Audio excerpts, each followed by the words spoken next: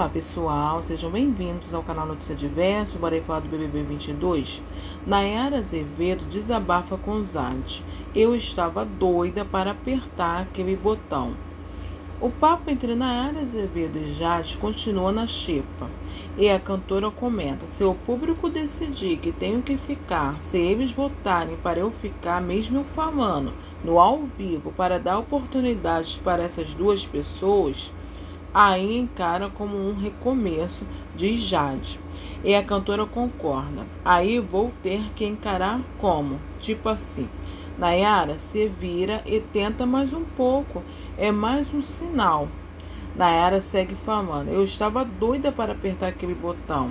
Eu não imaginei isso, mas as pessoas falaram para mim. Também senti vontade, diversas vezes, de apertar o botão. Então não sou só eu, que às vezes tem vontade de só ir para casa. Trouxe um certo equilíbrio saber que não sou só eu.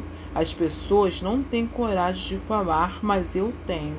E aí, pessoal, o que vocês estão achando aí da área do BBB? Vocês torcem aí por ela? Deixa aí nos comentários. Agora quero pedir a você que ainda não é inscrito aqui no canal Notícia Diversa, se inscreva, deixa seu like, ativa o sininho, para toda vez que eu postar vídeos novos, vocês estarem recebendo.